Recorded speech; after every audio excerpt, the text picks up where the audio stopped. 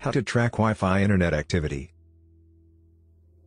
Wireless Fidelity, Wi-Fi, is an effective and easy method of connecting to the internet. Windows XP Vista and 7 allow you to track the status and activity of the wireless networks in your vicinity. You can do this by going to your computer's control panel and accessing the wireless devices connected to your computer. On Windows Vista and 7 1. Go to the Start menu and click the control panel icon. 2. Go to the Network section and open the Network and Sharing Center. 3.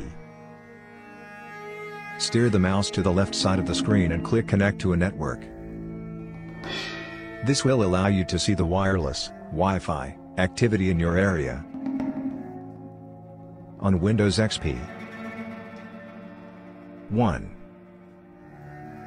Go to the Start menu and click Control Panel. 2. Double-click Network Connections. The next screen will show you the wireless devices connected to your computer. 3. Right-click on one of the wireless devices and select View Available Wireless Networks. This will also show you the wireless activity of the networks in the vicinity.